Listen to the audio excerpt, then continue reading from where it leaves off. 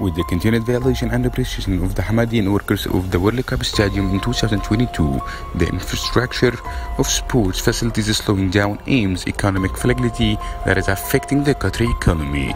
Qatar's construction sector shrank by 1.2% in the first quarter of this year after Qatari properties lost their appeal to attract new foreign investment to complement existing projects or develop new projects.